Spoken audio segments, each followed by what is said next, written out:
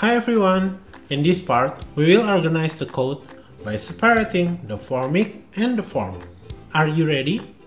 Let's get started.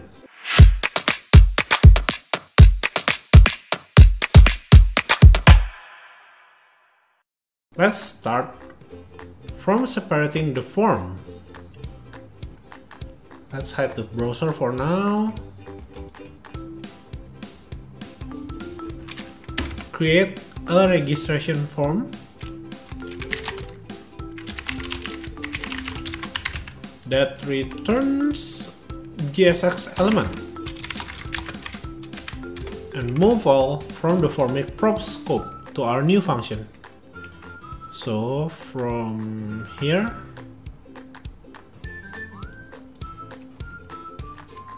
to here.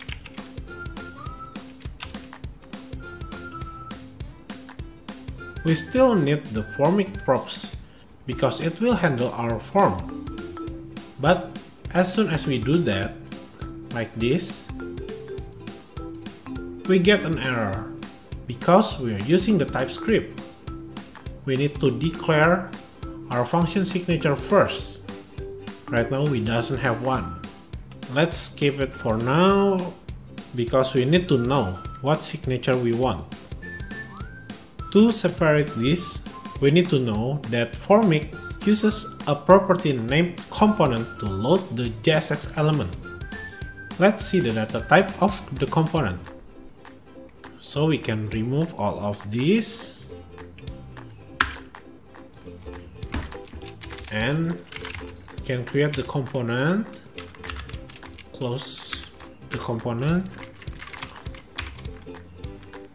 and let's see the signature. As we can see, the component is using react.component type, which means React component, React functional component, and it has generic values. And see, that's a Formik props there. Then we know that the function component should receive Formik props values. In our case, it becomes Formik props form model. Let's create our signature. Props, Formik props with generic form model that return JSX element.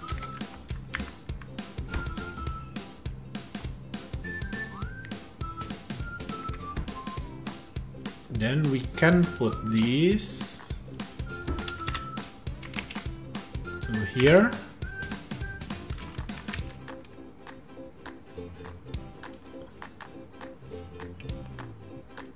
Remove this.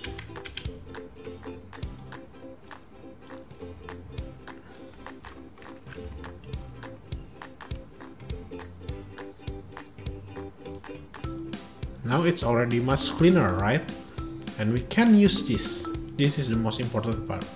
We can use this. Now let's put the registration form. Now run it. Save. And we will see. It's working great just the same. Good